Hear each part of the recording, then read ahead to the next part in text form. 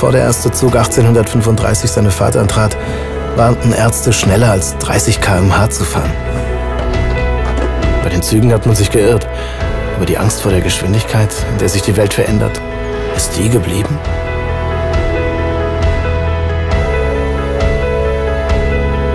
Wann hat Technik angefangen, mein Leben komplizierter zu machen? 4K, Smart Interface, Augmented Reality.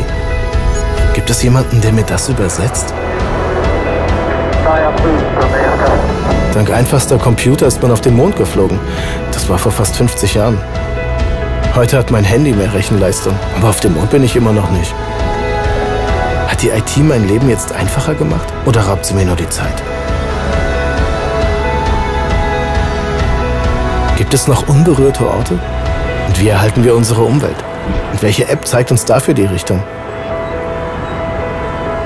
Innovationen sind doch dafür da, um einen glücklicher zu machen. Oder greife ich dann nach den Sternen, wenn ich mir jemanden wünsche, der mich die Technik vergessen lässt? Einen Partner, der mir jeden Tag ein Stück Freiheit zurückgibt.